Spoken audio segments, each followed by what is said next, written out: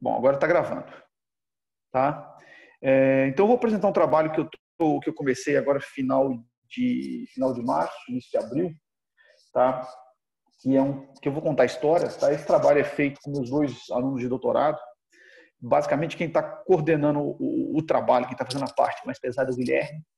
E o Wesley também está ajudando a gente, está fazendo também uma parte de, de dados, de, de, também uma parte gráfica que a gente, que a gente usa. Né? É, eu vou contar um pouco da história desse trabalho, onde a gente discute um modelo matemático para tentar entender né, essa, esse espalhamento de epidemias aí nos municípios brasileiros. Tá? A gente quer fazer uma coisa em escala de município.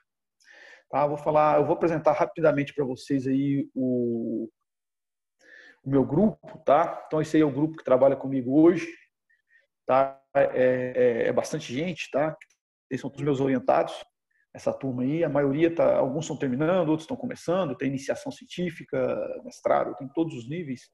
Tá? E esse rapaz aqui entrou agora, por isso que a foto dele está adaptada, que teve um que saiu, não dá para tirar foto, né? Agora não dá para reunir para fazer foto, então eu adaptei a foto, né?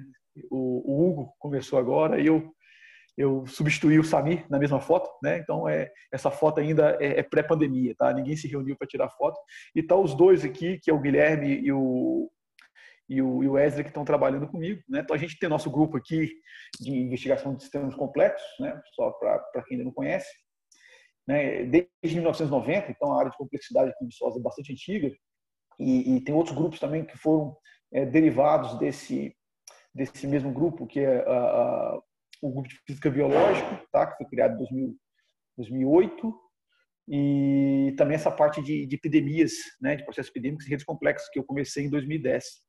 Né? E tem também um grupo de estatística aplicada, que a gente criou em 2013, por causa do projeto de grupos emergentes da da FAPEMIG. Né? Então, a gente tem essa área de complexidade, de multidisciplinaridade, a gente trabalha com isso há muito tempo aqui em Viçosa. O pessoal aí da UFMG, né, a maioria, o pessoal da estatística, principalmente, conhece bem essa nossa tradição aqui. Né? Eu não podia deixar de mostrar aqui também o, o, o como que está o, o, nosso, né, o nosso criador, né, o Marcelo, está lá no sítio dele, preso, é, fazendo quarentena, tá certo? Um monte de livro atrás. Eu até brinquei com ele que essa foto ele tá parecido com o Olavo de Carvalho, mas é, ele não tem nada de Olavo de Carvalho, não. Ele é antítese do Olavo de Carvalho, tá? Mas o Marcelo segue firme ainda aí, trabalhando, trabalhando com a gente, preparando os cursos dele. Tá, tá sofrendo um pouco com em se adaptar a essa nova realidade, né? De usar celular, essas coisas, ele não gosta muito não, mas ele está bem, continua firme aí, tá? Então nosso grupo está sobrevivendo bem essa essa pandemia. É, então, o, o, mais ou menos o resumo da, da, da minha apresentação está aí. Eu vou falar de algumas coisas, tá certo? Tá? Mas eu vou falar praticamente de três blocos. Tá? Eu vou falar uma coisa que eu acho que é importante, que a gente pode usar esses modelos epidêmicos, que, que qualquer uma pessoa que domina a parte técnica, né, que domina a parte que conhece um pouco de matemática, de, de modelagem, poderia ajudar, e que é muito importante, que é a parte de você usar esses modelos como, como ferramenta pedagógica tá? para poder orientar as pessoas, explicar às pessoas que, que precisa de orientação. Né? A gente sabe que esse é um dos grandes problemas que a gente tem hoje, é, é, é falta de orientação que as pessoas têm. As pessoas falam a população em geral, não necessariamente o, o mundo acadêmico. E aí eu vou comentar do, do da, da, terceira parte, que é o grosso do, do que eu vou falar, que é o nosso modelo que a gente propôs aqui, que é um modelo que a gente chama de direcionado por dados. Tá? Que esse modelo a gente eu usei ele para tentar entender aspectos aqui gerais aqui da pandemia. E, e em vez de fazer uma é, previsões específicas, certo? Para embora ele possa fazer, mas a gente não focou nisso. E agora a parte que nós estamos tra trabalhando agora é para fazer previsão, né? Que é a parte que é mais complicada. Eu vou eu vou explicar isso para vocês no final. E a gente vai concluir rapidamente com algumas observações, tá? É, então, então só passando aqui para não sair, né? Do a, a, do padrão, né? Falar um pouquinho, resumindo muito brevemente sobre a Covid-19, algumas características. Tá? Então, ela começou lá em, em, em Wuhan, final do ano passado, tá? e aí começou o, o epicentro né, seguinte, né, foi logo na Itália, tá? na Itália espalhou por toda a Europa e o resto do mundo. Tá? E, e, da última vez que eu atualizei esses dados, mais ou menos uma semana atrás, nós tínhamos em torno de mais de 16 milhões de casos e quase mais de 600 mil mortes. Tá? Então, é uma doença que ela tem algumas características que não é diferente de outras doenças que que, que acometeram a humanidade ao longo da história, que ela tem uma, ela é muito infecciosa e ela tem um, um intervalo de transmissão que é pré-sintomático.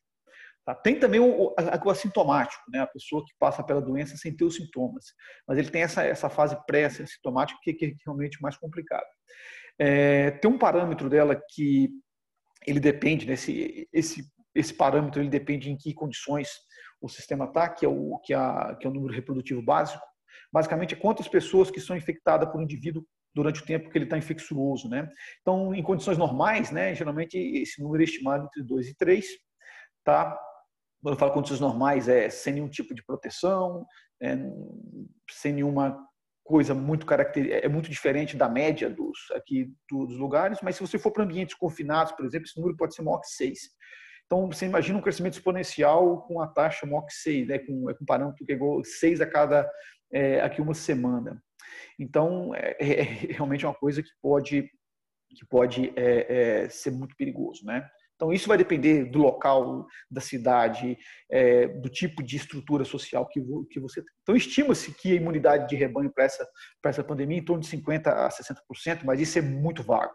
Tá? A gente não deve tomar isso como parâmetro, tá? porque a gente não conhece bem é, é, exatamente quais são os parâmetros. Né? Só para ter uma ideia né, de quão difícil é lidar com isso. Quando a gente fala de 50%, 60% é muita gente. Né? Nem com vacinação a gente consegue chegar nisso facilmente. Tem que ser um investimento muito grande.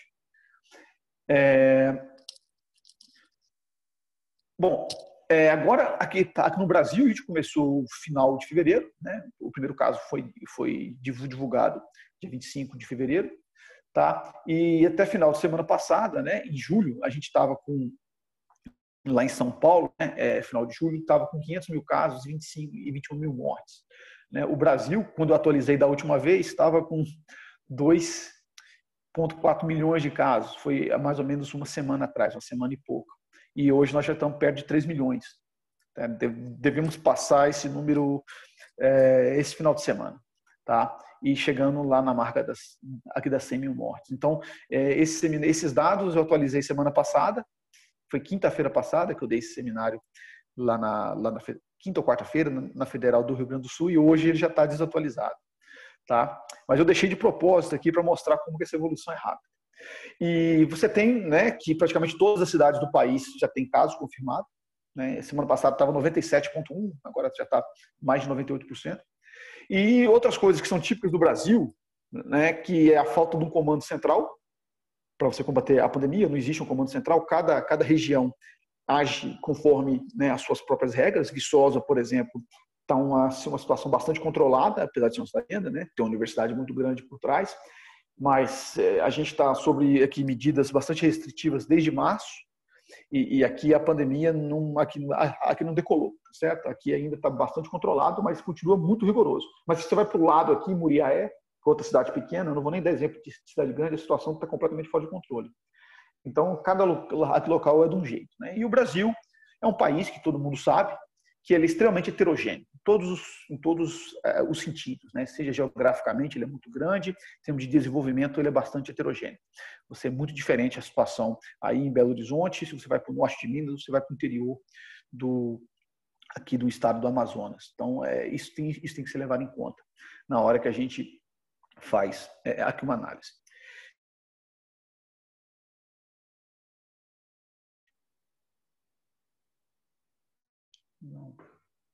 Travou.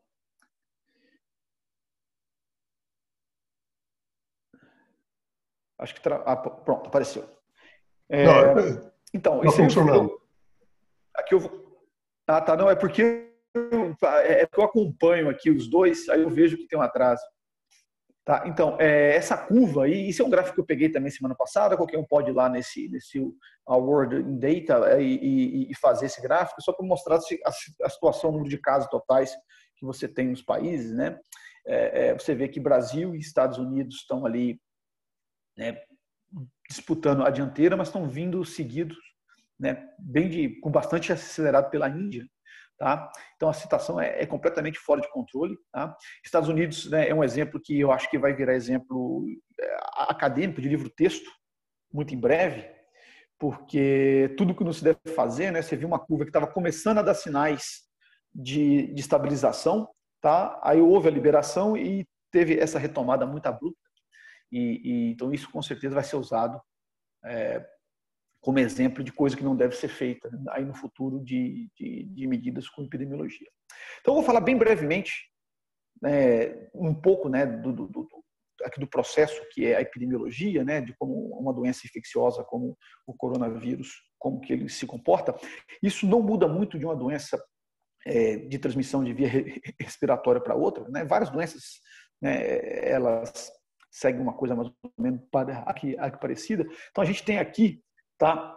Um gráfico que mostra, por exemplo, é, como, que, como que funciona. Né? Você tem aqui o contato com o vírus em um, em um, em um determinado tempo e você tem a sua, resposta imunológica. Então você vê que o patógeno, que o vírus, ele começa a se, a se reproduzir, ele atinge o um máximo e aí você vai ter o seu pico de, de resposta imunológica um pouquinho atrasado.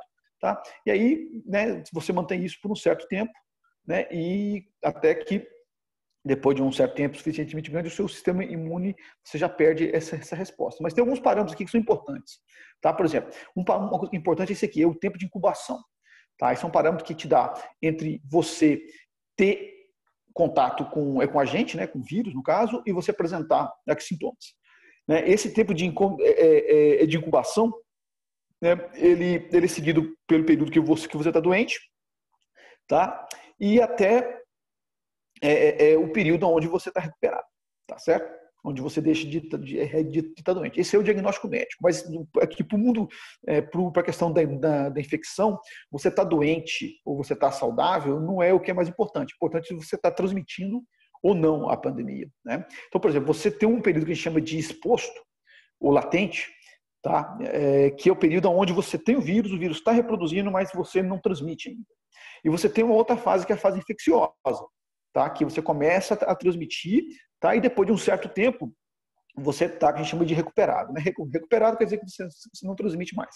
Seja porque você está hospitalizado, ou porque você, seu sistema imunológico né, já, já fez o, o trabalho, já eliminou o vírus, ou porque o paciente faleceu, a pessoa faleceu. Tá? Agora, existe né, esse overlap entre essa fase que é infecciosa e que você não está doente do ponto de vista clínico. Essa fase é muito perigosa, tá? que é onde você transmite com a taxa muito maior. Né? Ou seja, o período que você está doente, é, ele não é necessariamente o mais importante do ponto de vista epidemiológico, porque tem uma fase aqui que você está doente, mas você está isolado. Então você não transmite mais e aí você deixou de ser uma ameaça do ponto de vista de transmissão. Então, as estatísticas que a gente vê de curados, de pessoas que estão, que estão com coronavírus, é, elas são altamente né, é, é, é, é influenciadas, baseadas nessa primeira, que é o de sintomas, e não do ponto de vista infeccioso. Então, isso é um problema para nós que fazemos simulações, que precisamos de ter isso com, com precisão. Então, eu vou falar um, um pouquinho aqui para vocês sobre esses modelos né, usar modelos bem simples como ferramentas pedagógicas, que quando falo ferramenta aqui pedagógica, é ferramenta científica pedagógica. Né? Usar jargão científico, metodologia científica, para explicar as coisas sobre essa pandemia ou qualquer outra, sem necessariamente fazer uma previsão específica. Tá?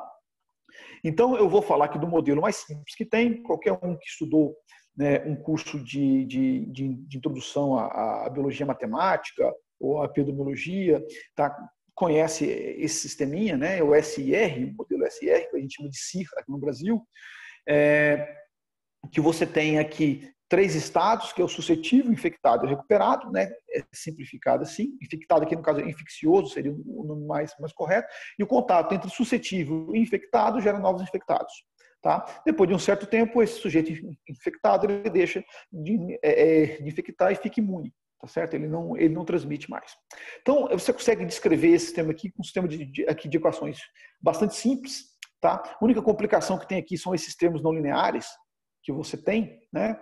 Que aí você tem um, você, você ainda assim consegue encontrar soluções aproximadas, fechadas para esse sistema, que não é o objetivo aqui, né? Mas aí eu já estou escrevendo em termos de densidade, fração aqui da população.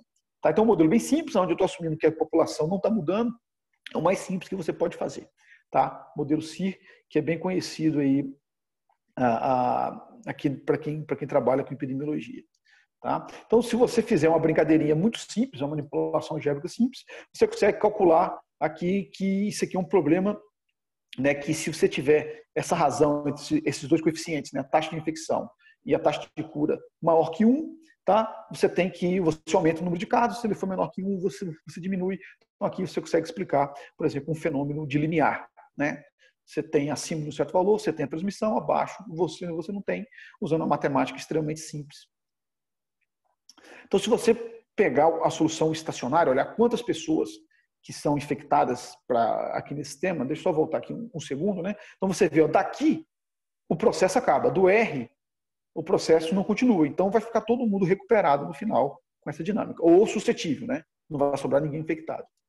Porque se você não tiver mais ninguém infectado, você não cria infecção. Então, se você olhar a fração da população que foi infectada, em razão daquele parâmetro que a gente chama é, do número reprodutivo básico, né, que é quantas pessoas você infecta a partir de um único infectado dentro de uma população, essa é definição dessa quantidade, aí você vê que você tem uma coisa que é abaixo de um, tá? que é o número que, que, tem aqui, ele é, você, você não tem fase aqui epidêmica, você tem um pequeno surto que some, né? ele, ele não reproduz, e acima de um ele vai gerar um surto, e dependendo desse valor, ele pode pegar a população inteira. Tá? Então, quanto mais próximo de um, menor vai ser a população infectada, quanto maior, maior vai ser a população infectada. Tá? E isso tem paralelo com problemas de física. Né? Quem, quem estuda, quem estuda mecânica estatística é, já ouviu falar do problema de magnetização. Você tem a transição de uma fase ferromagnética, onde você tem uma temperatura suficientemente, suficientemente, suficientemente baixa, para uma fase paramagnética, onde você não tem magnetização. Ou seja, você tem um ímã tá, e deixa de ser um ímã se você aumenta suficientemente a, a, a, temperatura. Então, é, essa questão de problemas com limiares é uma coisa que a gente conhece muito bem em física e, e trabalha com isso há décadas, tá? talvez séculos. Tá? Esse tipo de quase um século, né? Que a gente trabalha com isso, esse tipo de transição. Bom, então é, voltando ao modelo SR, né? O modelo CIR, é, o que, que a gente pode falar do ponto de vista pedagógico, certo? Por exemplo, você pode explicar para um, um, uma pessoa o que, que é, o que significa é, o famoso né, termo achatar a curva, né? Porque a gente ouvia falar algumas pessoas que se julgavam é, bastante conhecidos, né, por ter feito engenharia, coisa do tipo. Eu li algumas coisas sobre, sobre isso que falam que a curva é simplesmente distribuir o número de doentes ao longo do tempo. Então não faz muita diferença, né? Apesar de toda a importância e sobrecarga de, de, sistema de saúde, que todo mundo entendeu, mas não é só isso achatar curva. Você pode ensinar para as pessoas o seguinte: olha, se você diminui a taxa de transmissão, esse, esse parâmetro que eu coloquei aqui é um parâmetro é o seguinte: eu vou reduzir em tantos por cento a quantidade de contato que as pessoas fazem, que é basicamente reduzir a taxa de transmissão. A taxa de, de transmissão ela é proporcional ao número de contatos que você tem.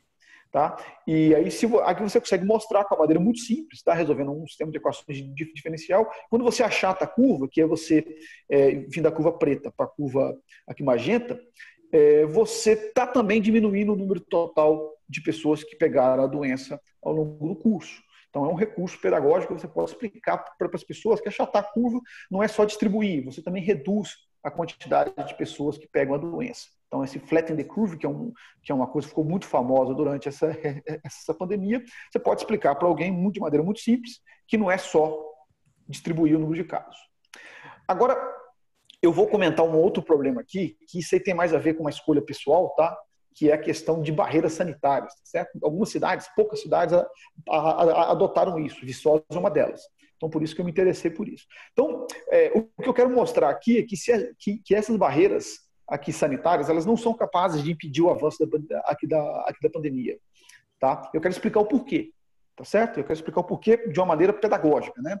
É, então, eu, eu fiz um modelo com duas cidades, sim, é, é, simplesmente, onde você tem o um modelo SR em cada uma delas, que é infectado, suscetível e recuperado, tá? só que você permite que uma pessoa vá de uma cidade para outra. Tá certo? Você tem cidade A e cidade B, eu permito que uma pessoa vá de uma cidade para outra. Então, isso é um modelo um pouquinho mais complicado, porque tem dois modelos SR e tem a interação entre eles, que é via aqui de, aqui de difusão. Mesmo assim, as equações né, não são. Bom, para uma pessoa que não é que não entende, que não trabalha muito com matemática, talvez seja complicada, mas para para nós que somos do, aqui do meio, não é difícil entender uma equação dessa. Né? Então, você tem aqui um modelo SR normal, que é a primeira parte. Tá? A segunda parte do meio é que é a, a infecção que você tem quando você vai da sua cidade para outro lugar e você volta para sua cidade. Então aqui eu estou considerando que o movimento é recorrente, ou seja, você vai de uma, de uma certa cidade, fica lá um tempo e volta. Tá? E a mesma coisa para o último termo, que é quando alguém de outra cidade vem pro seu, aqui para o seu município, interage por um tempo lá e volta. Então você faz um sistema de equações que são aqui acoplados, que é relativamente simples de você resolver isso numericamente. Né? Qualquer um que tiver curiosidade joga isso num desses né, sites que, que te auxiliam a fazer isso, ou usa matemática, ou usa qualquer coisa. Eu faço a moda antiga, tá? eu faço usando Fortran, mas tem maneiras muito mais fáceis de fazer isso. Tá? Então você tem um modelinho que te diz isso, né? Você tem um, uma epidemia em cada, em cada cidade, mas o sujeito vai de uma cidade para outra, você controlando essas taxas, você pode discutir isso. Tá? Então eu vou mostrar aqui o que acontece, né? Isso aqui novamente também, isso aqui não é uma previsão, isso é uma questão de, de, de divulgação.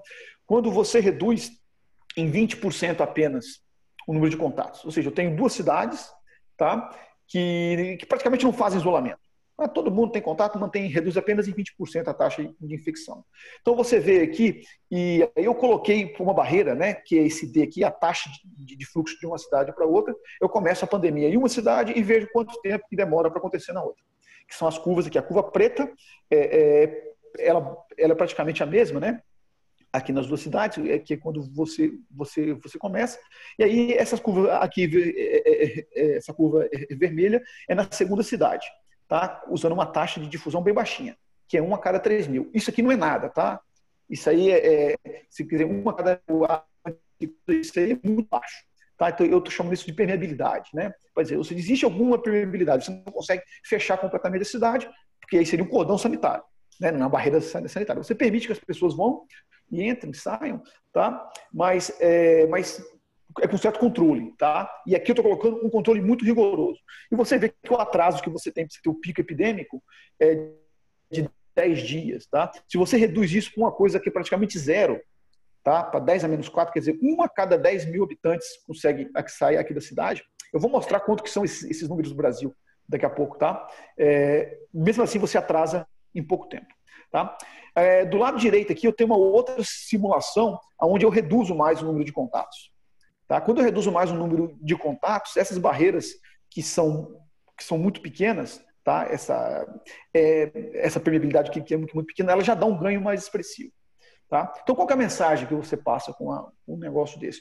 Você consegue, é, é, aqui mesmo do, do, ponto de vista de atraso aqui da pandemia, é muito mais eficiente você reduzir o número de contatos que você faz dentro da sua, da sua cidade, você aumentar o, o isolamento, tá certo? É, do que você simplesmente fechar a cidade, tentar fechar, né? Porque não tem como fechar.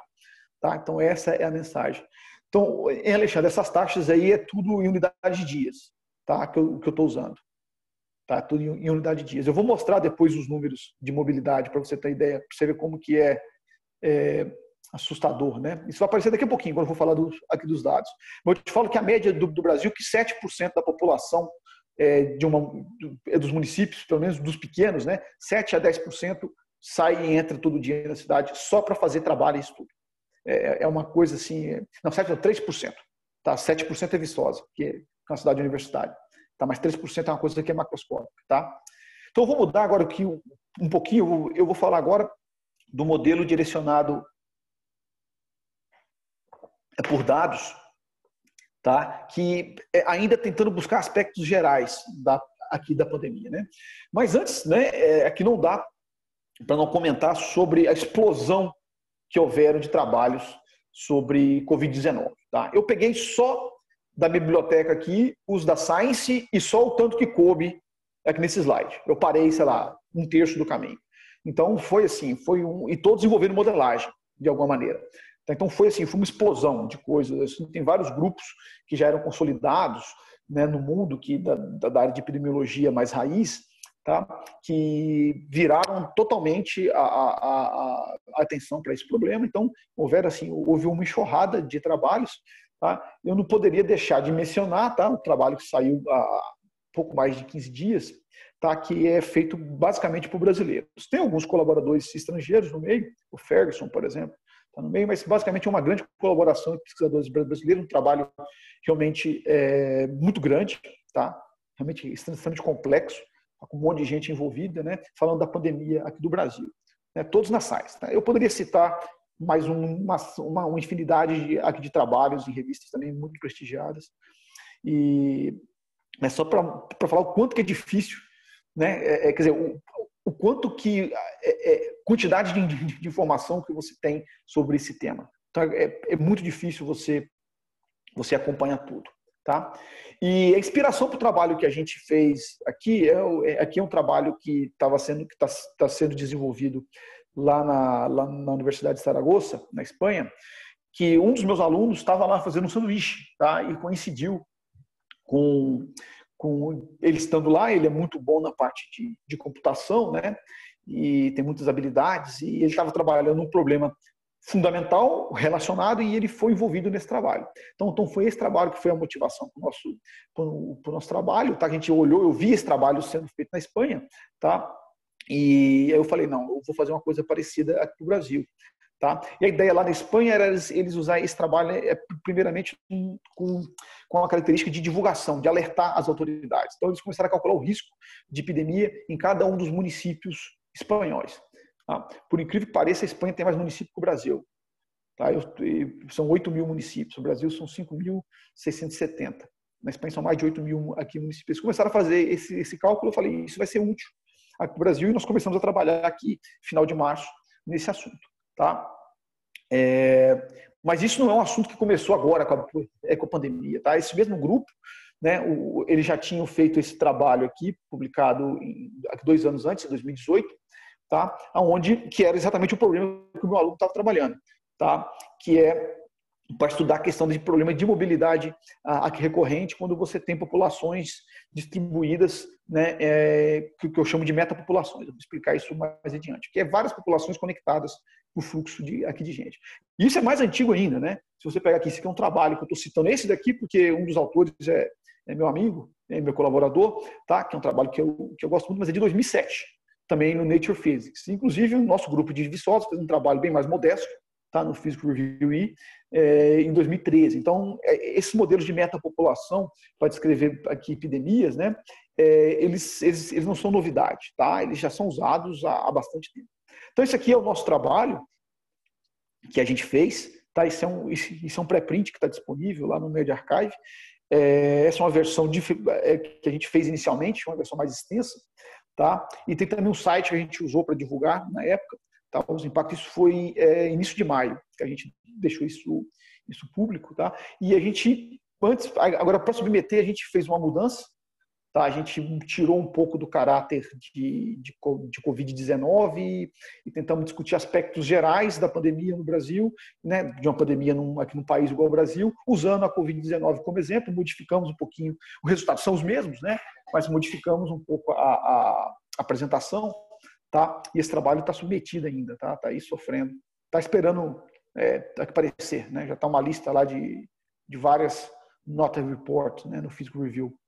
E então esse é o modelo que eu, que eu, que eu vou falar para vocês, tá? Então aqui a ideia do aqui do modelo eu vou resumir bem brevemente, tá? É, é você representar a população é, por fragmentos, você divide em fragmentos, que seriam no nosso caso os municípios, e dentro do município você tem um modelo epidêmico, tá? Igual tipo o CIR, né? A gente usou um modelo um pouco mais complicado, por causa dessa, desse problema exige isso, mas você tem tipo CIR e você tem é, as várias populações e tem fluxo entre as populações. Como aquele exemplo que eu dei, somente aqui duas cidades, mas aqui eu considero todas as cidades do país ao mesmo tempo. Né, na hora do, do, que eu faço a, simulação. Então, o modelo epidêmico que eu estudei, ele tem seis compartimentos, né, os seis estados possíveis, que é o suscetível, exposto, assintomático, eu dividi ainda os casos que estão, é, é, é, que estão doentes como confirmados e não confirmados, ou seja, o que foi identificado por teste e o que não foi. Tá? E eu tenho as transições, as taxas que acontecem entre eles. Então, isso está resumido aqui. Eu tenho é, o sujeito suscetível por contato com o sujeito infectado, ele ele pega, ele fica exposto, né? Ele tem o vírus, mas não transmite ainda. Aí depois de um, de um certo tempo, ele vai para um estado que eu chamei de assintomático, mas na verdade eu deveria chamar de pré-assintomático. né? Então eu estou pegando os dois compartimentos como sendo iguais. O sujeito que está assintomático, ele pode ser testado a princípio, tá? Ou ele pode ficar recuperado sem ficar doente, tá? Mas ele transmite. Tá? E aí ele pode, né, desse estado que ele está assintomático, ele pode ficar doente, né, começar a ter sintoma, e ele pode ser testado ou pode simplesmente ficar curado. Então eu tenho né, essa complicação, tem várias taxas envolvidas aqui, da taxa de, de, de infecção. Esse alfa-C ele é importante porque ele é a taxa de testagem. Né? Quando a gente fez esse trabalho, a gente tinha um limitante muito grande, que a quantidade de testes era muito limitada, Tá? Ainda é limitada, porque existe é, é, é, dificuldades, né? operacionalizar muitos testes é, difícil, mas é, de qualquer maneira, naquela época, abril, é, maio, era realmente a testagem era muito baixa, era muito baixa, porque não tinha teste. Tá? Então a gente teve que colocar um, uma limitação. Hoje essa limitação a gente não está usando mais, tá? Porque é, ela de fato a gente tem bem mais testes, tá? Uma coisa que é, que, que é importante é que a taxa de, de infecção, tá? Ela é proporcional ao número de contatos que você tem, que é esse termo aqui. Então, quando a gente faz um, um, é, é um modelo, a gente considera a quantidade média de, de contatos que você tem em cada cidade. Tá? Então, a gente leva em conta essa, essa diversidade. Tem um modelo para isso. Tá? Então, esse modelo ele tem um espírito tá? que a gente chama de modelo direcionado, dirigido por dados. Então, a ideia não é um modelo é, que você vai deduzir coisas dele tá, a, a partir de, de, de, variação aqui do parâmetro. Ele tem uma série de parâmetros, mas esses parâmetros são todos, têm que ser todos fixos, ou a grande maioria deles. Tá? A, grande, a imensa maioria tem, tem que ser fixo. Você tem que conhecer isso a partir de, aqui de fontes. Então, a gente, os parâmetros epidemiológicos eles foram estimados aqui no início, né, pra, aqui do sul, na China e também na Itália. Então, a gente a gente, esses parâmetros hoje eles são bem conhecidos, tá? eles são com a precisão suficiente para você fazer as simulações. É, o, que, o que foi muito importante para esse trabalho é a questão de mobilidade de longa distância, né, quando é, que a gente, no caso, a gente usou várias fontes. Tá? Inicialmente, a gente, a gente usou os dados do IBGE, de mobilidade recorrente, que é o sujeito que declara que vai e volta todo dia de uma cidade para outra para poder, poder estudar ou trabalhar, e também os dados de voo da ANAC, a gente conseguiu isso. E mais recentemente a gente teve acesso a uma base de dados que é, que é identificado via é, dispositivo móvel. Tá? Essa companhia, né, essa empresa em louco, ela, ela trabalha para várias é, para várias empresas, for, é, dando esses apps de, de, de, e-commerce, né, de, que você usa para comprar as coisas, da Magazine Luiza, Americanas, essas coisas. Então, quando você aceita lá, você autoriza que ele pegue os seus dados, fica coletando os seus dados o tempo todo. Então, é, a gente conseguiu uma parceria lá com o pessoal lá da USP, o, o Pedro Peixoto, tá? É, ele passa esses, esses dados para a gente, mas é tudo aqui preservando a identidade das pessoas, tá? Tem, tem todo esse cuidado de, de, de não ter nenhum tipo de violação né, de, de privacidade. Tá? Então a gente tem mais ou menos esses dados, basicamente ele olha qual celular que está dentro de casa durante a madrugada, durante um, período, e quando ele sai a uma distância maior do que um quilômetro, tá? ou dentro de um raio de um quilômetro desse período. Ele considera isso como sendo mobilidade. Se ele vai para uma cidade para outra, ele também consegue detectar isso. Então você tem um índice aí que você pode detectar o tanto que as pessoas estão aderindo ao isolamento ou não. Tá? Uma outra coisa que é importante importante o número de casos confirmados em cada município, já que eu estou tentando fazer uma simulação nível de município. Esse é um grande problema, tá? Eu vou falar bastante disso. Então, é uma grande dificuldade. E as partes de demografia que a gente incluiu aqui, aqui no modelo também, que, que, que não basta saber quantos habitantes você tem, você tem que saber se incluir a, a, densidade demográfica, porque quanto mais denso, mais contato você tem, a transmissão é maior. Então a gente usou dados do IBGE e da Embrapa, né? A Embrapa te dá o dado da área urbana de cada município. Tá? E também a gente incluiu mais na parte final agora os índices de distanciamento, distanciamento social, tá? por município também, que é também calculado com os dados aqui da Enloco. E por fim, né, a gente também a gente tem um, um, trabalho muito bacana, esse trabalho que foi feito de maneira até um pouco, é, é, vamos dizer assim, não pretensiosa em 2013 ou 2014, está faltando a data aqui, que é um trabalho que ele projeta o número de contato social que você tem para o país, né? Então, a gente conseguiu as estimativas para o Brasil também. Ele tem para o país e para faixa etária. Então, a gente tem um, um modelo, tem uma série de dados. Né? A maioria dos, dos, aqui dos dados, a gente, a gente entra com ele no modelo e não fica calibrando. Uma outra coisa a gente tem que calibrar, né? porque, afinal de contas, é um modelo. Então, aqui um exemplo, né? como eu falei com vocês, isso aqui é a rede de, de mobilidade que nós usamos, a rede de considerando tanto voos Aí são entre as cidades que têm aeroportos, mas também a mobilidade recorrente. Que é o, o mobilidade pendular, né, o sujeito que vai e volta todo dia. Então esse aí é o mapa que nós usamos. Você vê que na, que na região norte é bem menos denso do que aqui na região sudeste, por exemplo, ou mais na costa, né? E aí, como eu tinha aqui prometido, tá? Esse número de pessoas que se movem, ele é relativamente alto, tá? Então esse aqui é um, é um histograma que eu fiz que tem o um número de cidades, tá? Em função da proporção né, aqui da pessoa em porcentagem, tá? da porcentagem de pessoas que declaram ir e voltar todo dia para outra cidade para poder trabalhar ou estudar, que é fazer o, o, o commuting, né? Ou, ou, ou, melhor, é mobilidade pendular. Então você vê que o número aqui, o pico, está em torno de 3%. É uma fração macroscópica da, aqui da população, não é uma fração ínfima. Né? É 3%, é muita gente. Tá? Isso na maioria dos municípios. Você tem alguns casos que são extremos, 15, 20, 60% que são aquelas cidades que são cidades onde basicamente você vai lá só para trabalhar. Tá? É, são cidades industriais, não são cidades onde, são, onde muitas pessoas moram. Mas o pico está em torno de 3%. Então, essa mobilidade é muito grande em situações normais. Tá? Agora, aqui, o outro ponto, que é um, que é um dos gargalos para quem trabalha com isso, é saber o número de casos que você tem. Então, o que, o que a gente tem são os dados da, da Secretaria de Saúde é, dizendo quantos casos confirmados você tem, quantos óbitos você tem em cada município. Isso é o melhor que a gente tem. Esses dados têm um monte de problema que estão sendo debatidos o tempo todo, tá? como atrasos, subnotificação, é, etc. Tá? Mas é isso que a gente tem, é o que a gente tem que se basear. Então, isso aí é um site que o meu aluno, lá, Wesley, ele mantém. Né? Teve, ele foi bastante usado durante um certo tempo, que ele integrava as bases da Secretaria de Saúde e fazer esses mapas interativos. Tá? Hoje tem outras pessoas que estão fazendo também, junto com ele. Então isso hoje você tem isso disponível, qualquer um tem acesso a esses dados, é relativamente fácil.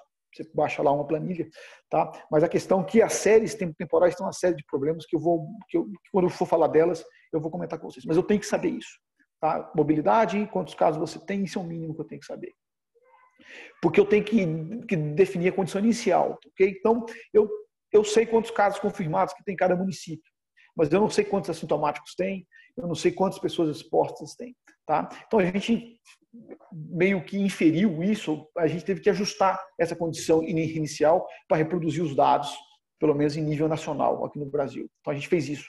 Tá? Em vez de maio, de abril, né? a gente ajustou essa condição inicial para que conseguisse reproduzir a, as curvas de crescimento. Então foi o ajuste que a gente fez. Tá? Então, quando a gente sabe que tem uma, sub, uma subnotificação grande, a gente usou um fator da ordem 10, tá? que era mais ou menos o que, o que é estimado. Mas isso é realmente um problema. Tá? É, várias pessoas que trabalham com isso têm dificuldade com esse problema de você fazer previsão usando é, a condição inicial onde você não conhece ela com exatidão. Que na época tinha muito pouco teste, né? imagina mês de, mês de abril. Né? Os testes começaram a chegar agora, final de maio, início de junho. Tá? Então, aqui, só uma ideia do que a gente fazia para calibrar aqui o modelo, você tentava é, ajustar essa curva aqui da direita, né, com o número de casos confirmados, tá mexendo na condição inicial. Também tem um parâmetro que a gente pode mexer, que é a razão entre, é, que é que o tamanho da, que a gente mexia na época, tá? Que é o tamanho da janela onde você está exposto e onde você está assintomático, né? Que é o período de incubação. Para nossa sorte, a gente adotou mais ou menos no meio, colocou metade do tempo, né? Que era 5,2 dias que é o tempo de, incubação, a gente usou 2.6 e 2.6, e para nossa sorte, esse é o valor que o pessoal de, de, determinou a posteriori, tá? Mas como a gente não conhecia na época, a gente colocou no meio. Então, a, gente, a, a, a gente calibra, e a gente podia fazer uma outra coisa, hoje não faz mais sentido isso, que é calcular quantos municípios que tem o caso. E a gente calibrou o modelo também para reproduzir desse intervalozinho de três semanas, e a partir daí a gente rodou a simulação, tá? E a gente né, a gente queria fazer uma, um cenário qualitativo de tempo longo, então a gente rodou semanas é, que eram hipotéticos. Então a gente definiu alguns cenários que, é, que nenhuma mitigação, ou seja, a vida segue, né? Do jeito que né, a, gente, a vida segue, né? E aí fazendo uma mitigação fraca, que seria você reduzir a mobilidade em 40% e o número de contatos é, em 30%, não, perdão, você, você reduzir a mobilidade em 60% e o número de contatos em 30%, e uma, e uma mitigação aqui moderada, que seria você reduzir muito a mobilidade, 80%. A mobilidade que eu falo é a mobilidade entre cidades, tá? É, a mobilidade dentro da, aqui, da, da, cidade, que é o número de, de contatos, seria dado pelo parâmetro K. e reduzir o, o número de contatos em 50%. No início, a gente até chamou esse, esse último parâmetro aí de, de mitigação forte, né? Aí, uma discussão que nós tivemos lá no grupo né, aí da UFMG, que eu faço parte, me sugeriram chamar de moderado e eu, eu achei interessante. Tá? E, então, o que a gente fez inicialmente foi calibrar tá, é, o número de cidades que tinha caso confirmado. Por quê? A gente tinha muita dificuldade de saber o número de casos naquela época, porque não tinha teste. Então a gente falou, pelo menos algum, alguma capacidade de testagem você tem aqui nas cidades. Então a gente viu, né, a gente usando aquele modelo que foi calibrado para o país inteiro, qual cidade que estava crescendo mais rápido, qual estava crescendo aqui é, devagar. Isso, né, considerando o mês de abril ainda, tá certo? Então você via que algumas cidades parecia que não tinha mitigação nenhuma, outras cidades naquela época estavam consistente com um cenário de mitigação mais moderada, né, que tinha alguma, alguma mitigação. A maioria estava próximo de um, de um cenário de, de mitigação fraca que não conseguia aqui prever. Então, esse é um aspecto que um modelo de metapopulação te permite fazer, que é ver onde a epidemia está em função do tempo. Tá? É, eu vou tentar passar um filme para vocês, espero que funcione. Vamos ver se, se a sincronia vai ser boa. Mas basicamente isso aí foi a simulação que a gente apresentou em dois cenários. Tá? O, o cenário da esquerda é como se você, você teria um confinamento é, fraco, está escrito aqui moderado aí, mas seria fraco, tá certo? E no outro seria um confinamento, do direito seria um confinamento aqui moderado. Tá? Então você vê que o interessante aqui é que a, a, onda, né, que de fato aqui é uma onda, espaço-tempo, ela começa aqui na costa e vai invadindo aqui o interior, tá? E quando na costa uh, o cenário já está mais ou menos aqui resolvido, é, no interior você ainda tem uma incidência alta. Tá? Então, a gente, com esse modelo de meta-população, a gente consegue obter essa, essa resolução espaço-temporal e, e, apesar do modelo não ter sido pensado para reproduzir bem o comportamento, né, porque tem vários fatores que influenciam o comportamento, quando eu falo a, a longo a prazo longo, né, a tempo longo. Ele funcionou qualitativamente bem, né? Se você olhar aqui, é, o, que, o, o, que aconteceu é exatamente isso. Você vê aqui, aqui na costa a epidemia mais forte, ela vai invadindo o interior, aí quando começa, que é a situação que nós estamos vivendo agora, tá? Se você olhar as datas aqui, é basicamente esse cenário do lado direito, que é mais qualitativamente parecido com o que nós temos, tá? É, começa a normalizar agora, no perdão, do lado esquerdo, né? A, a situação começa a normalizar ali na costa e no interior a coisa ainda está muito crítica, tanto que o número de casos segue muito alto. Tá? É... Bom, é... uma coisa que a gente conseguiu identificar aqui, que não é uma surpresa, tá? mas é uma coisa que passa meio batido, que é que a, a, a, epidemia ela tem uma natureza de muitas escalas. Ela não é a mesma coisa. Não adianta você falar qual é a curva epidêmica do estado de Minas Gerais. Isso, no fundo, não faz muito sentido. Né? Porque, como eu comentei no início, o Brasil é extremamente diverso, heterogêneo. Então, a, a epidemia em cada local vai ter uma característica.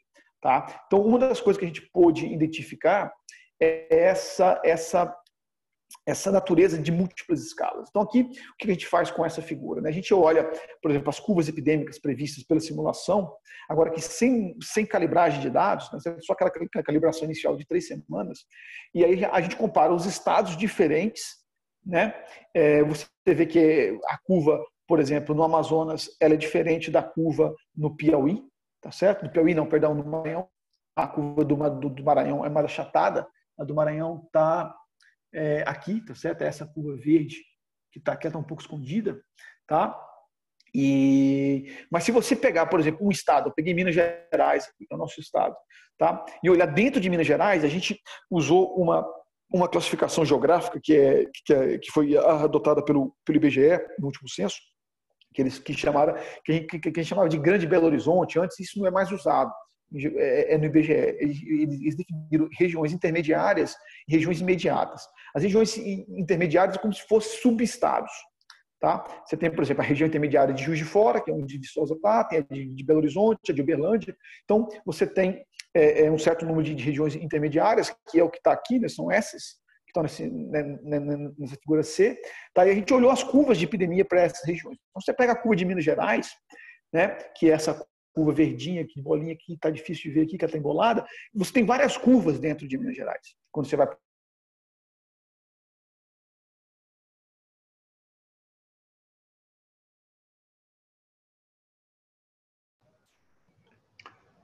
Perdemos o sinal.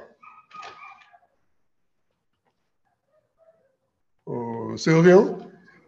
Sim, sim. Agora está me ouvindo? Sim, voltou. Tá. Obrigado. Tá. É, porque eu estou vendo que sumiu o meu sinal também. Então, eu estava comentando né, que em Minas Gerais você tem uma curva, mas dentro de Minas você tem várias curvas, uma para cada região intermediária. Então, se você vai dentro de uma região intermediária, tem outra classificação é chamada de região imediata, que é, são, são cidades que têm um vínculo né, mais forte, não é só geográfico, tá? Tem um vínculo de comércio, de muito fluxo de pessoas que vão de uma cidade para outra, buscando estudo, saúde, trabalho, tá? Que é mais parecido, né, com a, com a noção que você tinha grande BH, né? Mas é, é, ainda assim é uma nova classificação. Então, se você pega, por exemplo, a região em que essa verde, que é de Belo Horizonte, onde o pico aconteceria primeiro na nossa previsão, né? Seria então de 40 dias depois do início, que o nosso início foi em março. Então, aqui, eu estou falando nesse cenário hipotético. Se você olha a região de Belo Horizonte, mesmo na região de Belo Horizonte, você teria uma dispersão muito grande.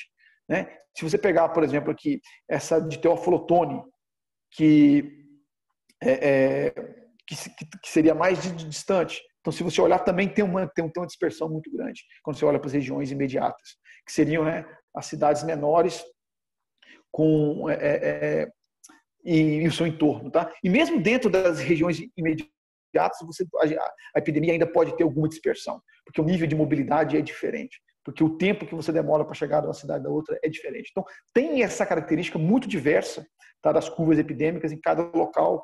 Então, é, tem que ter um, um, é uma coordenação né, global, mas é, tem que se levar em conta as particularidades locais, porque a, a, epidemia ela, ela tem uma evolução em cada local. Né? É uma epidemia só, uma pandemia só, mas a manifestação dela depende do momento e, e, e do local onde ela acontece. Então, isso varia bastante.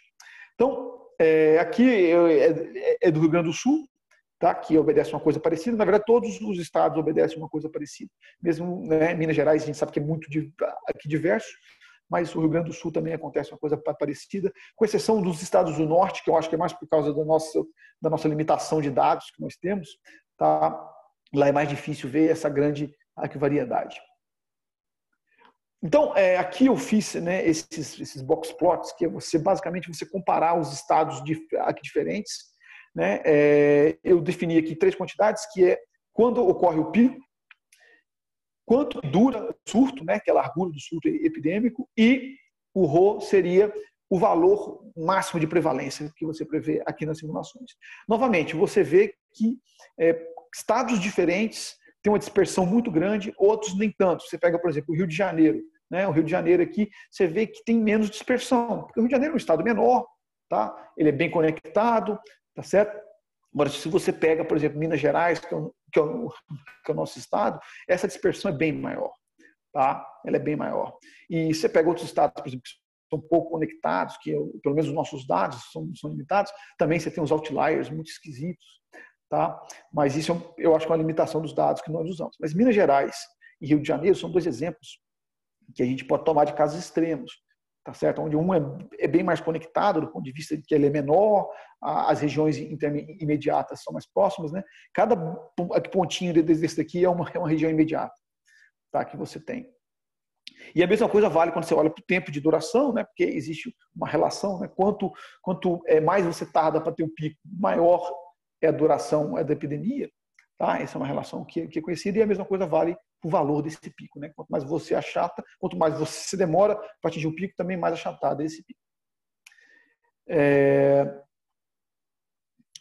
Bom, a gente tentou encontrar uma relação tá, entre é, as capitais, onde, onde onde geralmente começa a, pandemia, né? onde tem os aeroportos, onde vem os casos que a gente chama de, de importados, né? que são as sementes que espalham essa, é, essa epidemia. A gente tentou encontrar uma correlação entre a, a epidemia nas capitais e nas cidades do, aqui no interior, isso olhando para todos os estados. Então, o que a gente fez foi olhar, por exemplo, quanto tempo que a, a, a epidemia demoraria para atingir um pico na simulação. Tá? E aí a gente classificou isso usando um, aqui uma análise estatística, que eu não vou entrar em detalhes aqui, tá? A gente fez uma análise estatística para ver se tem significado estatístico entre os dados, e a gente encontrou, e a gente classificou em três tipos, tá certo? Quando não tinha significado estatístico, que são esses amarelos. Então, esses estados do norte aqui é mais ou menos esperado, porque a nossa malha de mobilidade lá é, que a gente tinha, que a, que, a gente, que a gente tem acesso, ela não é muito precisa, então a gente não encontrou correlação estatística, provavelmente por causa disso. Tá? Outros estados, como é, Mato Grosso e São Paulo, possuem uma, uma correlação forte. Né? Aqui eu estou mostrando aqui São Paulo, você vê que quanto mais longe da capital você está, isso aqui é a distância à capital em quilômetros, tá? maior é o tempo que você gasta para ter a, a pandemia, tem uma correlação muito forte. Né? E em outros estados a correlação foi moderada. Por exemplo, Minas Gerais a, correlação é moderada. Tá? Mas, na verdade, é, a gente pode dizer que, é o seguinte, se você olhar a distância curta, que é até 300 quilômetros, Minas Gerais não tem correlação nenhuma. Agora, para distância muito longa, tem alguma correlação. Tá? Mas tem um estado que chamou muita atenção, que foi o estado do Paraná, que mesmo sendo um estado coeso, né, não é um estado muito grande, né, é um estado mais parecido com São Paulo do que com, é, com Amazonas, é, não tinha correlação nenhuma entre a distância Curitiba e quando ocorreria o pico. Né? E a gente foi investigar isso com mais cuidado e a gente descobriu que o Paraná, de fato, é muito parecido com Minas Gerais.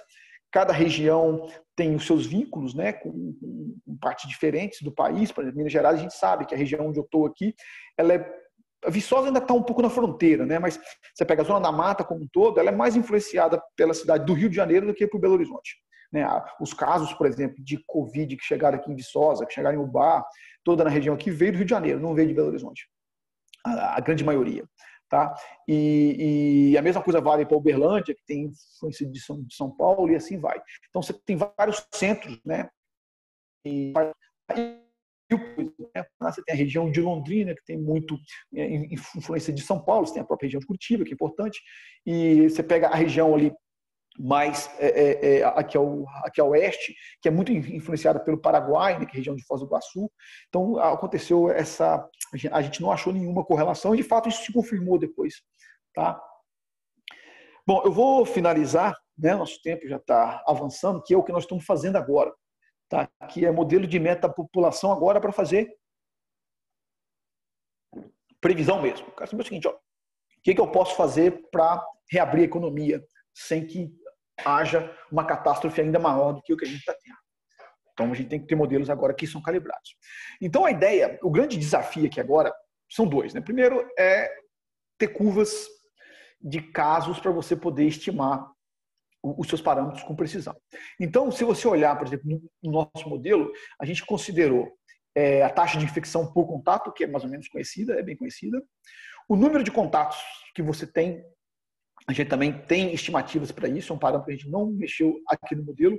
A gente também incluiu no modelo tá, o índice de, de distanciamento social, que é um parâmetro que a gente também conseguiu, tá, via essa parceria com a Elo, com, Pedro Peixoto.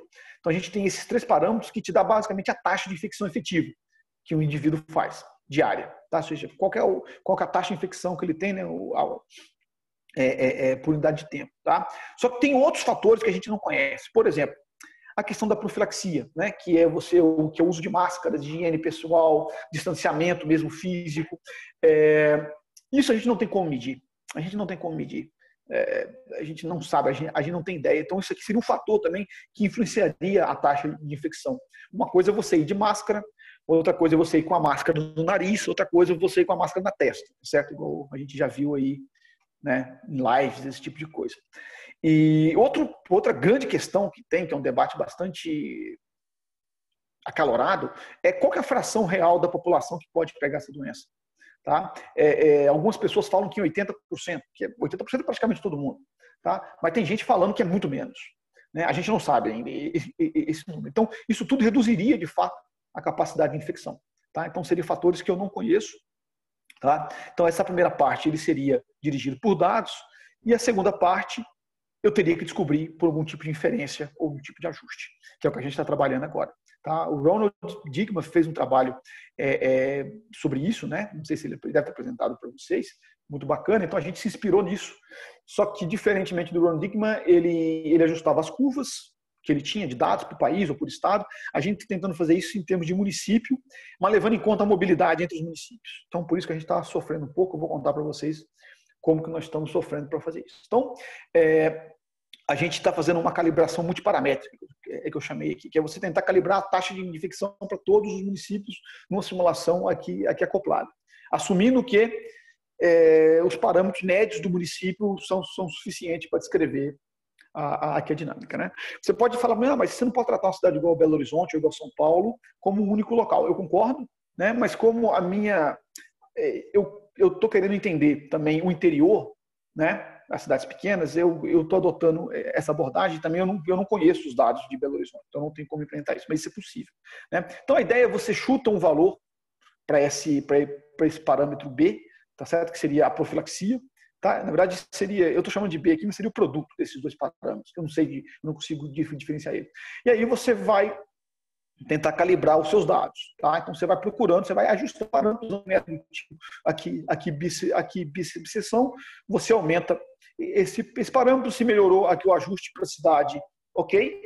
Você eh, continua aumentando, senão você diminui e vai reduzindo esse parâmetro para fazer. Qual é a dificuldade aqui? Tá? Principalmente quando a gente está tá olhando para cidades pequenas. Você mexe no parâmetro de uma cidade, melhora lá, mas piora na vizinha. Tá certo? Aí você mexe o parâmetro da, da, da cidade vizinha, piora da de cá. Então, é, é, é uma coisa complicada, tá certo? É um, é um, sistema que a gente ainda está aprendendo a, li, a, lidar com ele, mas já temos resultados que eu vou mostrar para vocês aqui. Tá? Então, é isso né, que é, eu estou mostrando para quase né, 6 mil cidades ao mesmo tempo. 6 mil curvas de crescimento ao mesmo tempo. Não é 6 mil porque algumas cidades não têm caso, outras têm muito pouco, a gente não consegue fazer nada. Mas são várias cidades ao mesmo tempo. Né? Então, é isso que nós estamos tentando fazer agora. Então, tem um, um é só para mostrar o um nível de, de, de, dificuldade. A gente fez um ajuste rápido, sem muito cuidado, a nível de Estado. Tá? Então, a nível de Estado, funciona muito bem. Tá? O, o, o trabalho do, do, aqui do Ronald mostra isso, que com, é com, duas, é com duas taxas de infecção, você consegue ajustar qualquer, as curvas de dados de qualquer estado do Brasil, tá? e qualquer país, né? pelo menos que tem um certo número de casos. Mas quando você pega a taxa de infecção média do estado e aplica para a simulação dentro de um município, por exemplo, aqui a gente aplicou para Fortaleza, tá? desvia bastante dos dados dizia bastante dos dados. Então, ou seja, calibrar a média dos, dos, dos estados, né, ajustar né, os parâmetros de taxa de fixação da média dos estados, não é o suficiente para você aplicar dentro de um município. E olha que eu estou falando da capital. Só que Fortaleza, né, aqui para esse período que a gente estudou aqui, ela já estava já na fase de, de vamos dizer assim, que a que a que estava no sinal de enriquecimento, enquanto no interior, interior do, Ceará ainda está em, progressão. Tá? E, então, isso aqui é o que a gente fez agora, tá? que está mais que está mais preciso. Tá? Então, você vê que a gente consegue. Né? Então, a, a, só para ilustrar aqui, a gente fez uma calibração. É, primeiro, a gente considerou só um, um, uma janela de tempo curta, de um mês, tá?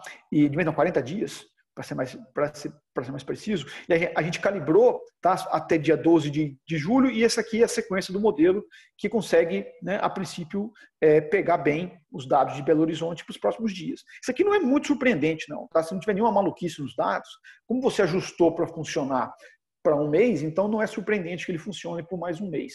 Né? Mas você vê, de acordo com essa simulação que a gente fez, né? Essa simulação não é para Belo Horizonte, tá? a simulação é para o Brasil inteiro e a gente vai lá e olha o que tem em Belo Horizonte. Então tem a influência de, de Nova Lima, influência de Contagem, de todas as cidades que têm fluxo relevante com, com Belo Horizonte. Para o Rio de Janeiro aqui é a mesma coisa, tá? Então, você vê que a curva, né? a gente consegue uma boa calibração e ela segue prevendo os dados por mais três semanas. Então, a princípio, o modelo, quando você olha para essas duas cidades, olha, olha o método que você aplicou está funcionando, né? Então, o trabalho não está em progresso, o trabalho já está adiantado. Tá? Mas, quando a gente vai olhar com certo cuidado, quando a gente vai olhar os dados, a coisa é muito mais complicada. Né? Então, eu vou dar outros dois exemplos de capitais, que é Fortaleza. Né? A gente calibrou os dados muito bem para Fortaleza, que foi até dia 12 de julho. Mas, se você observar aqui, né, você vê que a curva desvia muito do que a gente prevê aqui na simulação nas próximas semanas. Mas, se vocês lembram, né, Fortaleza começou a liberação aqui. Tá certo? Por aqui finalzinho de junho.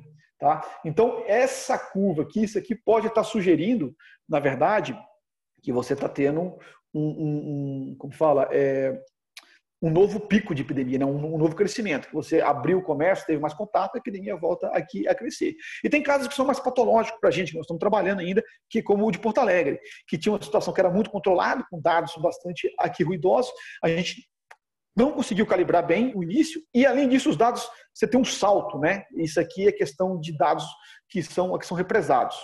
Isso aí são testes que estavam aqui represados e saiu tudo de uma vez. Não existe simulação, não existe ajuste, não existe nada que consegue prever isso.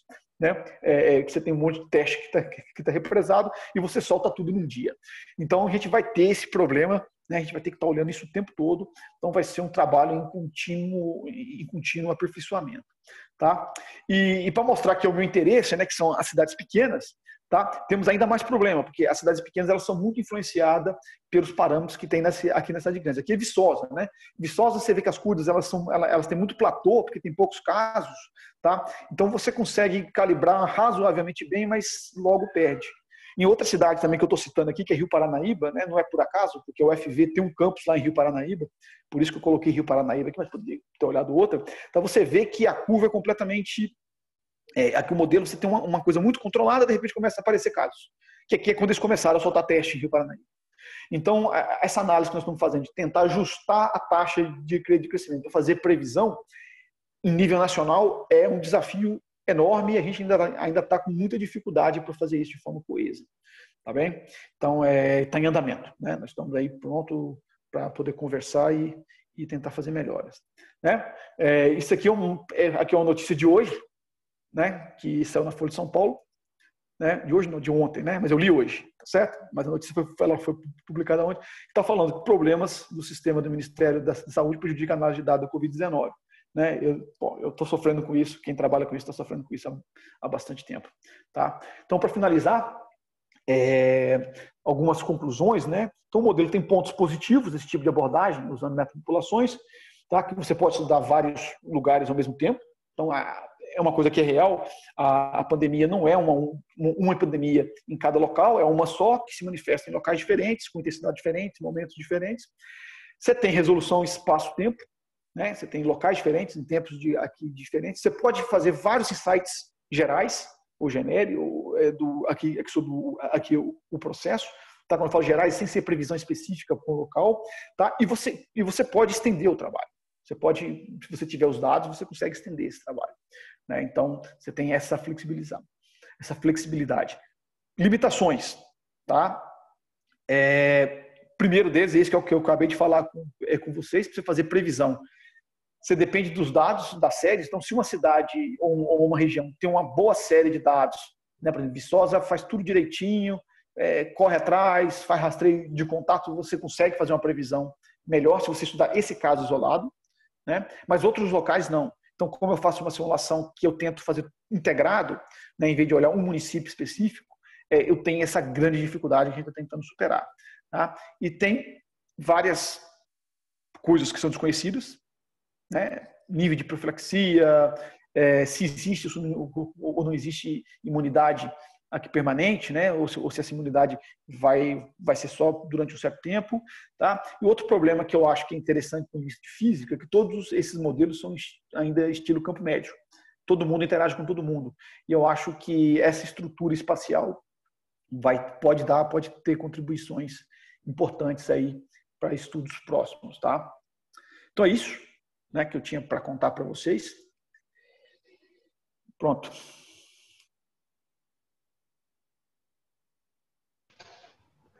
Muito obrigado, Silvio. É um trabalho uh, impressionante, de, de, grande volume, obviamente, uh, muitos dados envolvidos e uh, um esforço impressionante. E, uh, bom, eu vou perguntar se tem uh, perguntas.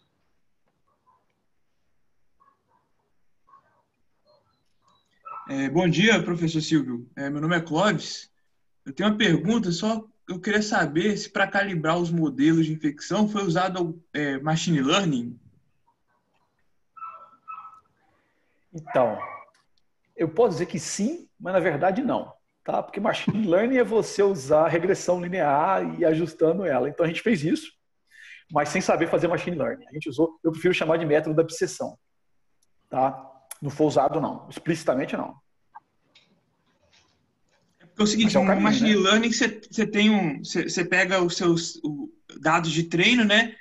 E aí você, dependendo da quantidade de dados de treino, você você utiliza, você vai ter um modelo que consegue prever melhor ou pior, né?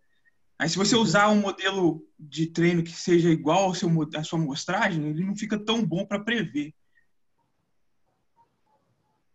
É, não, a gente não usou. A gente usou a obsessão só. É, quer dizer, a gente está usando, né? Porque esse trabalho ele está ele tá em andamento. Mas só que é um, eu acho que é um caminho que se a gente conseguisse fazer seria, seria espetacular. Ah, entendi. Muito obrigado. Nada.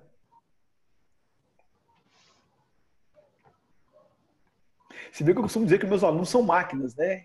Eles trabalham muito, então ele, e eles aprendem, né? Então eles são. eu vou... é, de eu costumo forma, dizer né? que eles trabalham muito, eles são máquinas e, e, e eles aprendem. Então, esse tipo de machine learning eu acho que eu, eu poderia usar, mas o machine learning de programação séria, essas coisas, a gente não usa, não. Bom, realmente, uh, eu envolvi uh, dois alunos só nas questões de uh, baixar dados e visualização de dados, mas eu não coloquei os alunos para trabalhar 24 horas por dia nesse problema. Eles têm os próprios projetos para desenvolver. Mais perguntas? Alguém? Eu tenho uma pergunta. É, existe um momento a partir do qual. Quem é? Dá para dá, dá me ouvir? Eu estou ouvindo, mas eu queria saber quem é, porque eu não apareceu. Ah, tá, Alexandre. Alexandre. Ah. Tá. É, eu gostaria de saber se existe algum momento a partir do qual a migração não tem efeito sobre a dinâmica é, da infecção na cidade. Isso. Então, é, esse é um ponto que ah, tem sim, tá? Isso vai depender aqui do local. A partir do momento que você tem uma transmissão comunitária forte, tá? A imigração é, começa a ter pouco efeito na, aqui na cidade. Né? Então, aqui uma coisa que, que, que é importante é o seguinte: imagina que você tem aqui um local por exemplo, Belo Horizonte. Belo Horizonte é um hub, né? Do ponto de vista de, de espalhamento.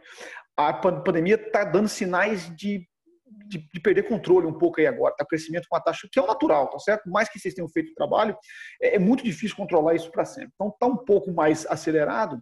Então, em Belo Horizonte não depende tanto do fluxo de outros locais mais que já tem a transmissão comunitária.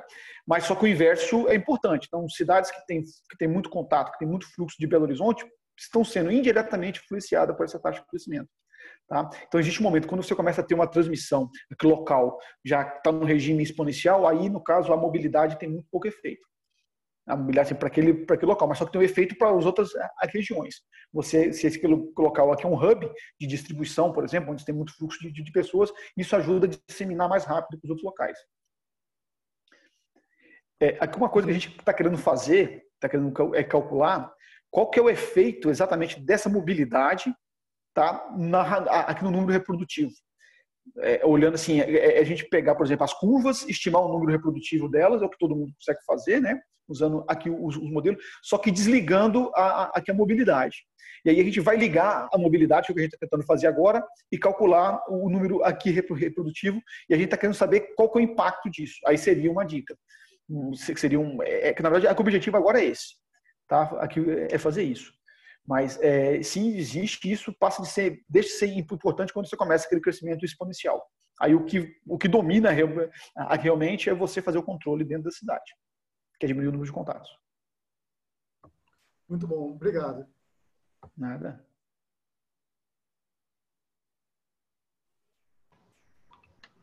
O Silvio, Sim? existe alguma alguma evidência uh, concreta que uh, o uso de transporte em massa, o, o, o grau de uh, lotação de ônibus, metrôs, até barcos no norte,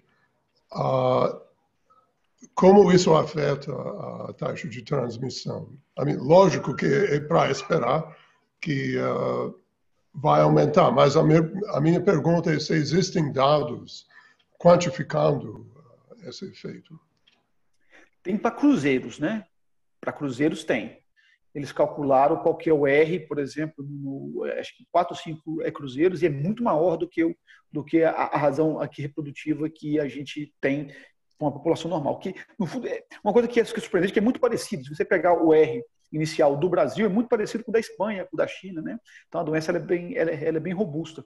E agora o que tem, o que eu li, né, foi um estudo feito na Áustria, que específico onde eles eles fizeram aqui o, o, o rastreio de, de contato e mostrando que as principais fontes de infecção na Áustria, tá, foram, né, transporte público e aglomerações de onde as pessoas falavam alto.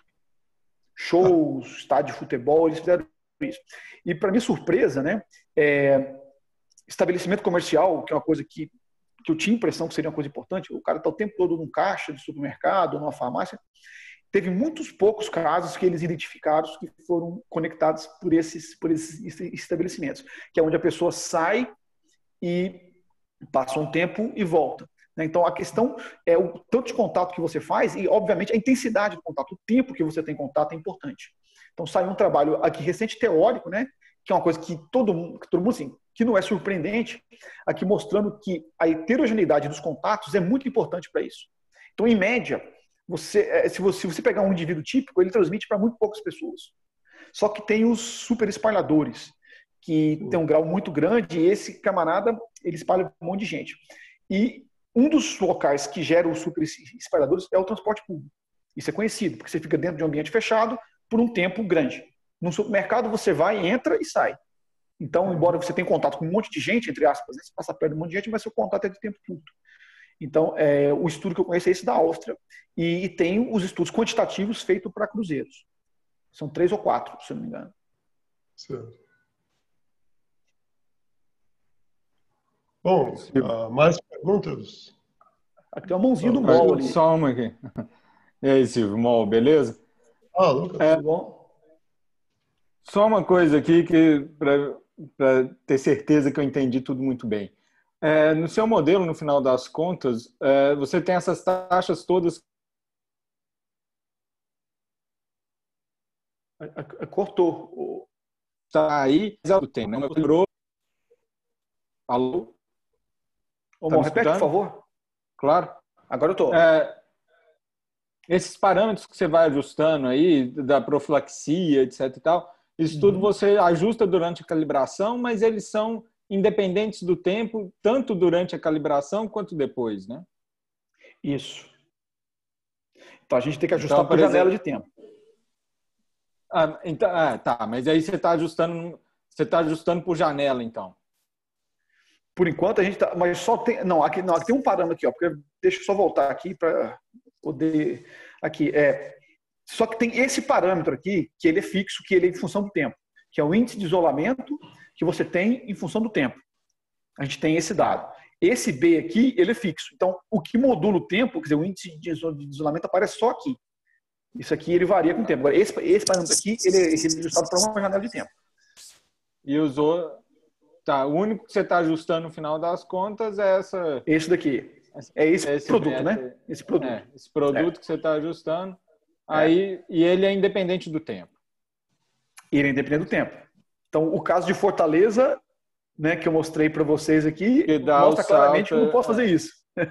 É Porto Alegre também. Tipo assim, é Porto Alegre, os dados, os dados estão muito ruins, né? É. Os dados estão muito assim. É, isso aí é problema de, é de represamento de dados. Então, essa curva de Porto Alegre, é, não tem como você pegar um salto desse daqui.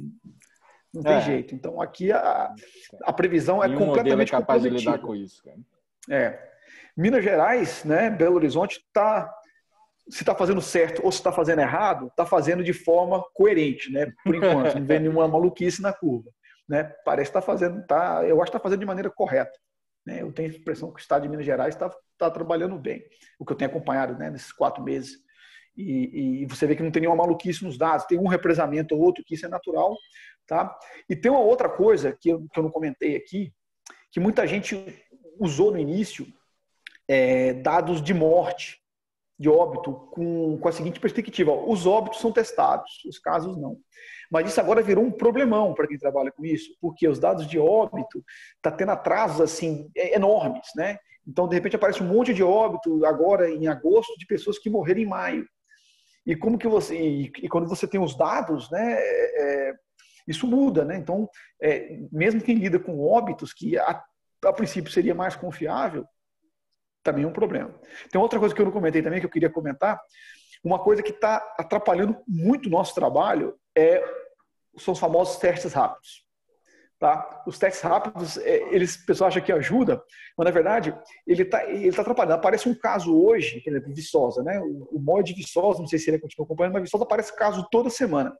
Mas é tudo caso de pessoa, a maioria, né? Caso de pessoas que, que tiveram a doença em algum momento. E só que aparece hoje, com a confirmação hoje. Então, isso é um problema, porque o que importa para a gente, na hora de, de, definir uma condição inicial, é quem está doente. Tá? Quem esteve doente é uma fração muito pequena, né? ainda a gente está muito longe de ter um, uma imunidade coletiva. Mas, é, é, é, então, isso atrapalha demais, esses testes rápidos atrapalham demais. Tá? Para quem está fazendo simulação, que é um outro problema que a gente ainda está tentando contornar. Alguns estados mostram a diferença quantidade de teste rápido e de teste é, é, usando o PCR, né, que é para ver se tem fragmento do vírus pra, ativo. Então, esse é um outro problemão que nós temos também, que eu, que eu esqueci de comentar com, é, com, é com vocês aqui, eu deixo registrado. Nós estamos tentando contornar é. isso. De conhecimento assim, que eu vi recentemente, isso aí só tende a piorar. Casos aqui em Belo Horizonte, o conhecido nosso foi, fez o teste rápido, deu positivo, resolveram fazer todo mundo da empresa dele 60% da empresa, de quem trabalhava na empresa com ele lá, com construção civil, todo mundo com, assim, ninguém com nenhum sintoma nem nada, mas 60% do pessoal lá com já teve a doença e ninguém ficou sabendo. Então, esse tipo de coisa agora, eu acho que vai com o aumento de teste rápido vai ficar cada vez mais comum de pegar, é. sair divulgando um monte de casos que já teve e que não para modelagem só vai atrapalhar, né? Vai atrapalhar muito, é. Beleza, obrigado. Então, por esse modelo aí, Belo Horizonte ainda não passou pelo pico. Seria isso? Não. O pico, então, o pico, assim, é, né? O pico, ele depende é, de, é de como você vai ficar. Você, quando a gente passar o pico da, aqui, aqui da pandemia, é, o pico seria você é o seguinte: a, a pandemia ela está sob controle, é você ter imunidade de rebanho né, ou, ou, imunidade coletiva. Né? Imunidade de rebanho parece que a pessoa não gosta muito. Imunidade é, coletiva, ou seja, não tem, é, é, é, vamos dizer assim, hospedeiros o, o suficiente para o vírus passar de uma pessoa para outra, né? Porque o vírus ele não vem do nada, ele vai de uma pessoa para outra. Nós somos o, o, os vetores do vírus que a gente, né, que está que, que tá nos deixando doente. Então, é, Belo Horizonte não, não atingiu, né? Porque o índice é muito baixo, se você levar em conta os dados. Tá, aqui não atingiu. E, e, e, tem aquela coisa, né, que, que as pessoas ficam um pouco assim agoniadas, eu também tô, porque quanto melhor você faz a sua lição de casa, mais tempo você vai ter para atingir o pico. Porque você, quando você faz o achatamento da curva, né, você assume que você, imagina que você toma medidas de profilaxia muito fortes e agora você retirou essas medidas você volta ao cenário de antes, porque você tem uma população suscetível muito grande. Então, essa questão do pico é, é, é muito relativo. Tá? O pico você iria observar se você não fizesse nada. É, faz de conta que não tem a doença, não comunica, deixa as pessoas pegarem a doença, deixa as pessoas morrerem, né? e encher os necrotérios, os cemitérios de gente. É, agora, você tomando medidas, você não vai, provavelmente o que você vai fazer, você vai segurar isso aí não vai deixar ter o pico, até chegar a vacinação. Então, não passou pelo pico. Com certeza não. Acho que cidade grande nenhuma passou. Fortaleza é um exemplo, né? É, aqui, ó, Fortaleza aqui. Eu não sei se meu, se meu modelo tá bom ou tá, tá ruim, mas a curva que ajustava até dia 12 de julho, a, a liberação foi mais ou menos aqui final de aqui de junho, estava indo muito bem, tá certo? Aí depois tem aparentemente aparece uma nova inclinação. A gente teria que refazer a análise. Então é, é muito arriscado falar que já passou pelo, pelo pico. Você pode ter passado, até pode ter chegado no pico, tá certo? Mas dado aquelas condições. Se você mudar as condições, é, a, a, dinâmica é outra. Né? É, como, é, é como se eu mudasse os parâmetros do meu modelo. Aí você vai ter um novo pico. Entendi, obrigado. Posso perguntar? Pode. Fala. É? Oi, é Simone. Tudo bom, Silvio? Tudo bom, Simone? Tudo jóia. Jóia. Parabéns pela, pelo trabalho, né? Uma trabalheira enorme pelo jeito aí. É. E muito interessante, muito completo. É, eu queria te perguntar algumas coisas. Tem, sobre, sobre os dados, né? Que são liberados, tem um outro aspecto que, bom, vi em imprensa, não sei o, o grau de veracidade disso, mas que é uma espécie de corrupção, é, no sentido de, de eles diagnosticarem casos especialmente de mortes, né? É, de outras mortes, falando que é de Covid, para poderem ter, tomarem medidas é, emergenciais. Né? Isso deixa o dinheiro livre de alguma maneira né, para o município e então pode ser gasto sem licitação, sei lá, sem alguns protocolos que normalmente existem para dinheiros públicos, né? Aí eu queria saber se isso é verdade, se tem essas distorções nos dados também por causa de é, né, uma, um, um, talvez um superdimensionamento né, de, de casos por questão de corrupção. E uma outra coisa que eu queria te perguntar é essa história que eles estão agora é, discutindo, debatendo, de abertura das escolas. Né? Eu entendo que isso entraria nos parâmetros de várias formas, né? me parece mais óbvio é a aglomeração, mas você tem uma ideia de como que isso poderia é, ter impacto né, na, na, no desenvolvimento aí dos, da, né, da evolução do, da, do Covid? Então, a primeira pergunta, eu não sei, nunca, para mim isso é teoria de conspiração, né? Até que se prova o contrário, eu não sei. É, e a gente, né? A gente fica é, a, a refém disso se existir. A gente tem os dados para aqui para analisar, tá?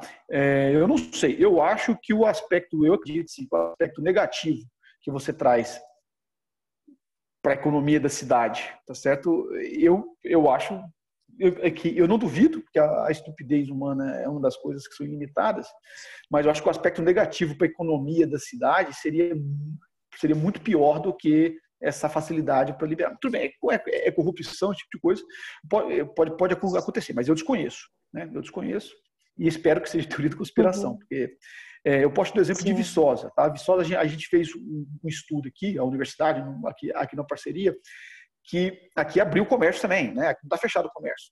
Aqui, aqui, tem restrição, tem um negócio que chama aqui, aqui rodízio de CPF, você pode só para o comércio nos dias que o CPF é aqui autorizado, são dois dias por semana. Isso tem fundamentação, porque você diminui tá? É, a mistura entre pessoas, você vê, porque aqui numa, numa cidade pequena, o principal foco de, de, de, de é o centro, né? As pessoas vão para o centro e voltam para casa vão para o centro e volta para casa, né? E, uhum. Então, tem, tem funcionado. E aqui não tem nenhum caso de morte, tá certo? E isso, e a gente fez esse teste olhando assim, todos os estabelecimentos comerciais que, que toparam, né? E não achamos nenhum caso ativo. Então, isso para a economia da cidade é muito bom, tá certo? Você, você fala assim, eu estou abrindo a economia de maneira controlada e não está gerando impacto. Então, eu acho que isso é uma mensagem muito positiva e, e, e eu acredito que para a cidade, para a economia, para, né, porque tem, que tem uma pressão muito forte para essa parte, é, eu acho que é importante. Então, eu espero que seja só teoria de conspiração, que isso não seja verdade. Então, eu não sei te dizer. Tá? E se tiver, uhum. isso é um uhum. problemaço para os nossos dados. Tá?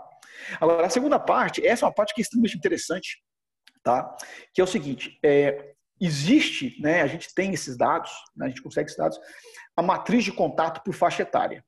Tá? Ou seja, você tem, você, você consegue essa classificação de 5 em 5 anos, qual que é a média de contatos que as pessoas têm em cada país. Né? É claro que ainda tratar o Brasil como um único número para uma faixa etária é uma coisa complicada, mas o fato é, é que a variação é muito grande.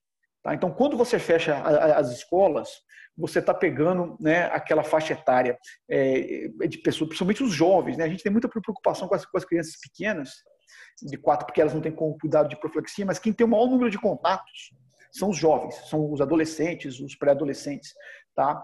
E, e, isso pode ser levado em conta aqui no modelo. Então você teria que a gente teria que pegar o nosso modelo agora e dividir dentro de cada cidade, colocar a é, é, fazer é, compartimentos de idade. Isso isso não é difícil de fazer, tá? Isso vai ter um impacto muito forte, tá? Porque se você pega, por exemplo, o número de contatos do pessoal que vai para a escola, tá? E a, e a duração aqui, aqui dos contatos, se você tem esses números, ele é bem maior. Tá? Se você pega aqui um adulto em fase produtiva, né, entre, sei lá, entre 20 e 50 anos, em fase de trabalho, né? Aqui no aqui, aqui normal, o número de, de, de contatos é 8, 9, aqui para o Brasil, estimado.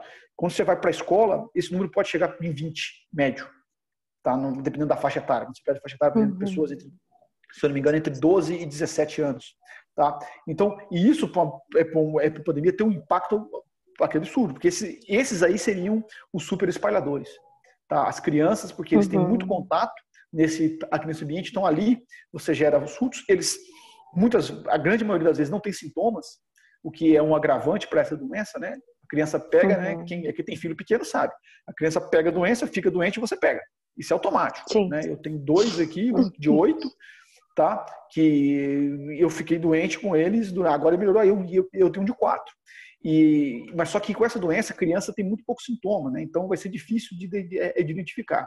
Então isso pode ser estudado, deve ser estudado, né? e vai ter um impacto muito forte e quantitativo, porque uhum. número de contatos é o fator chave para esse negócio e é muito maior na faixa etária escolar do que quando é no escolar. É. Obrigada, Silvio. É.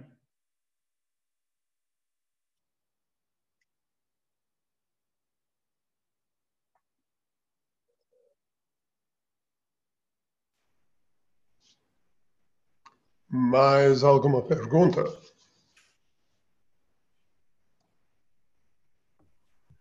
Oi, eu sou Alexandre de novo, aluno do Dickman. Eu tenho a pergunta que é a seguinte: existe alguma cidade com que vocês estão estudando com muito detalhe os dados de maneira a entender como funciona a pandemia? Então, essa é uma coisa, Alexandre, que eu não queria fazer eu queria fazer uma coisa geral, uma coisa assim, é, é, é, independente, tá certo? E a gente não está fazendo isso ainda, mas a gente está começando a ter que olhar para isso, porque é tão diferente tá, de uma cidade para outra que nós temos que nós estamos começando a olhar para isso, mas isso, isso não está sendo feito. O que a gente olha com um pouco mais de cuidado é Viçosa, por causa que a reitoria, né, o, o reitor pediu para a gente fazer aqui esse estudo, porque ele está pensando na, na, questão de retomada das, das atividades da universidade tá? de maneira segura. Né? E, então, a única cidade que a gente olha com um pouco mais de cuidado é Viçosa. Mesmo assim, a gente não faz simulação específica para Viçosa. A gente só tenta tratar, né? Eu trato Viçosa igual eu trato Belo Horizonte. Né? Ou seja, Belo Horizonte é uma, é, é, é um, é, é, aqui é uma capital, eu olho com cuidado para Belo Horizonte, igual eu olho para São Paulo, olho, olho para Fortaleza, né? E eu trato Viçosa, mas a gente não está fazendo esse estudo específico, não. Tá? Para nenhuma cidade. E no caso de, de Viçosa é um problema, porque a, a, o fluxo de pessoas diárias em Viçosa. Viçosa tem uma, tem uma, tem uma população, para você ter ideia, de 70 mil habitantes fixos. A população móvel de, de, de, de Viçosa é em torno de 20 a 25 mil habitantes. É aquelas que são pessoas que estão aqui por um tempo. E é do Brasil inteiro. Então, é, é, é diferente o impacto de você abrir a UFMG para Belo Horizonte, vai ter um impacto, né? mas você tem, sei lá, 200 mil em 3 milhões. Em Viçosa vão ser 20 mil e 70 mil. Então, é, é uma cidade que a gente olha com cuidado, porque a gente, né, eu sou daqui, a minha universidade, e a gente também discute com a, com a, com a prefeitura, e, mas é só essa, tá? E a gente tem essa preocupação muito grande de retomar as aulas presenciais, por causa que vai vir gente do Brasil inteiro com uma cidade pequena. E aí, realmente, a situação que está completamente sob controle, a chance de perder totalmente o controle é muito grande. Tá? Mas é só Viçosa que a gente olha com mais cuidado. Obrigado.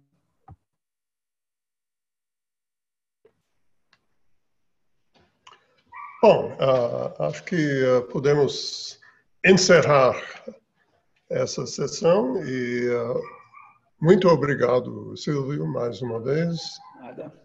Um seminário super interessante e bom, a gente vai manter contato e para a comunidade da física, o FMG, a gente se vê na sexta que vem, com mais um seminário. Tá, eu que agradeço aí mais uma vez poder falar aí para vocês da, do FMG. E se alguém quiser conversar alguma coisa, né, além do Ronald, é só entrar em contato comigo, tá?